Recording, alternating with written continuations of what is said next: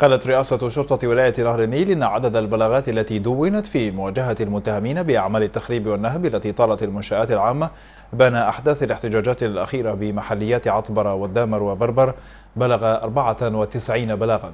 بينما أفادت الشرطة وفق تقارير رسمية أن جملة المتهمين الذين تم توقيفهم جراء الأحداث بلغ 241 متهما أفرج عن 224 بالضمانة.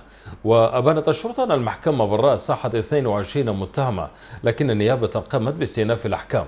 وقال والي نهر النيل رئيس لجنة الأمن بالولاية حاتم الوسيلة إن الشرطة تمكنت من ضبط متهمين وبحوزتهم العديد من المسروقات التي تتعلق بأجهزة ومعدات لمرافق حكومية مشيرا إلى أن هناك بينات واضحة تثبت تورط متهمين في عمليات النهب التي استغلها البعض أثناء الأحداث.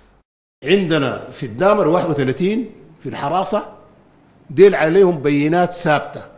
شايل تلفزيون والشايل آه، شاشة والشايل كرسي والشايل هاي. في عطبره آه، في 35 شطرة البلاغات من 65 وفي 30 في الحراسة الآن جاري.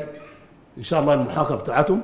في بربر المعتقلين 10 تم إطلاق سراح 8 والباقي عندهم اثنين. ديل حرقوا.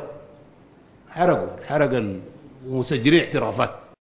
إلى ذلك قال الوالي حاتم الوسيلة إن جهاز الأمن والمخابرات الوطني أخلى سبيل 16 شخصا تم توقيفهم أثناء الأحداث بينما أحال الجهاز 19 آخرين للشرطة لوجود بينات في مواجهتهم. أوضح الوالي أنه تم تكليف النيابة بتشكيل مجموعة من الفرق لسرعة التحري في تلك البلاغات.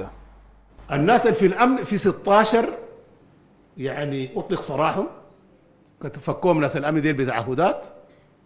وفي 19 حولوه للشرطة لأنه في بينات في مواجهتهم وفي 21 تم ترحيلهم للخرطوم. كلفنا أخواننا في النيابة بأن يشكلوا أتيام و و و ويعملوا نفير لمعالجة هذه البلاغات كلها بأسرع ما يمكن عشان ما يكونوا عندنا ناس في الحراسات.